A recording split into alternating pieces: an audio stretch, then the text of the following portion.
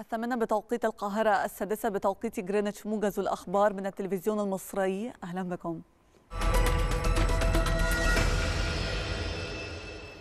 واجه الرئيس عبد الفتاح السيسي بالاعتماد على المكونات المحلية قدر المستطاع في تنفيذ مشروعات مبادرة حياة كريمة لتطوير قرى الريف المصري نظرا لتأثر سلاسل الإمداد العالمية.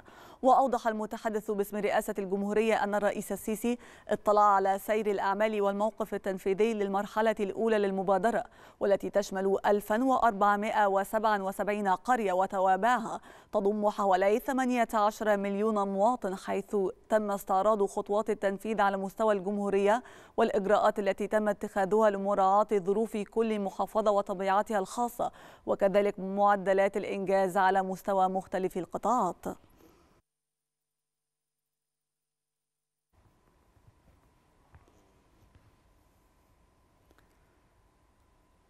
قال الرئيس الأوكراني فلاديمير زيلينسكي إن بلاده ستصدر مزيدا من الكهرباء إلى الاتحاد الأوروبي وفي كلمة له قال زيلينسكي إن كييف تعمل على زيادة صادراتها من الكهرباء إلى مستهلكين في الاتحاد الأوروبي مشيرا إلى أن تلك الصادرات لن تسمح بزيادة العملات الأجنبية فقط بل ستساعد أيضا الشركاء الأوروبيين على مقاومة الضغط الذي تمارسه روسيا على صعيد الطاقة але й допомагати нашим партнерам вистояти проти російського енергетичного.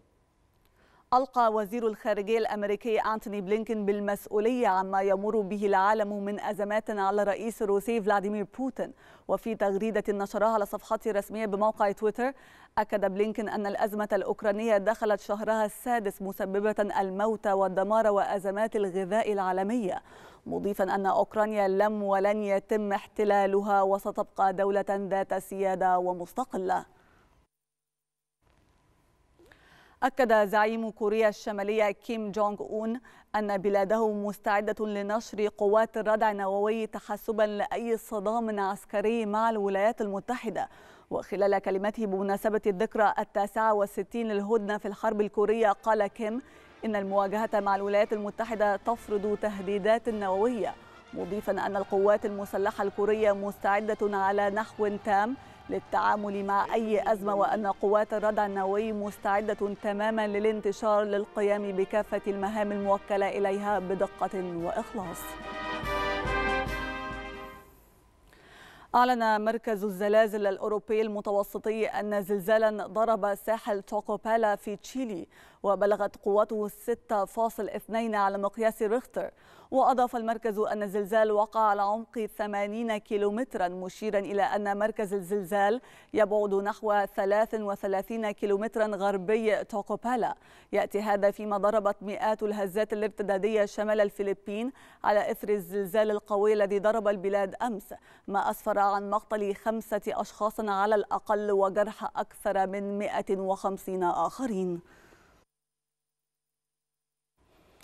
أما رياضيا فحقق فريق الأهلي فوزا صعبا على فريق مصر المقصة بهدف دون رد في المباراة التي جمعتهما على استاد الكلية الحربية ضمن منافسات الجولة السابعة والعشرين من عمر مسابقة الدوري الممتاز. بهذه النتيجة رفع الأهلي رصيده للنقطة الرابعة والخمسين في المركز الثالث.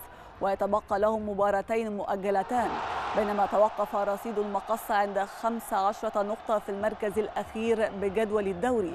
هذا فيما حقق بيراميدز فوزه على البنك الأهلي بهدف دون رد. في المباراة التي جمعتهما على استاد الدفاع الجوي ليعزز فرص المنافسة على لقب البطولة حيث ارتفع رصيده إلى 59 نقطة في المركز الثاني. يواجه الزمالك فريق فيوتشر التاسعة مساء اليوم على استاد الأهلي والسلام ضمن منافسات الجولة السابعة والعشرين من الدوري الممتاز. يسعى الزمالك لتحقيق الفوز باللقاء وحصد الثلاث نقاط للحفاظ على صدارة جدول ترتيب البطولة وتحقيق اللقب للعام الثاني على التوالي. وكانت مباراة الدور الأول بين الفريقين قد انتهت بفوز الفارس الأبيض بثلاثة أهداف مقابل هدفين.